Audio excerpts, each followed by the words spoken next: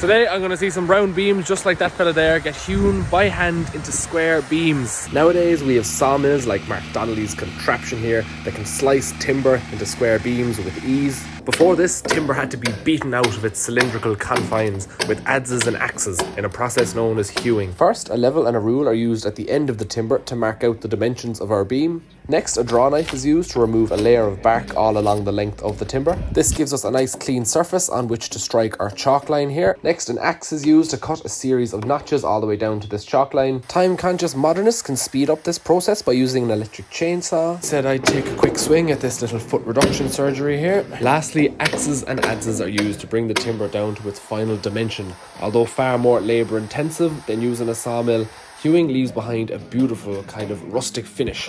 Stay tuned to see what this becomes. Schlan.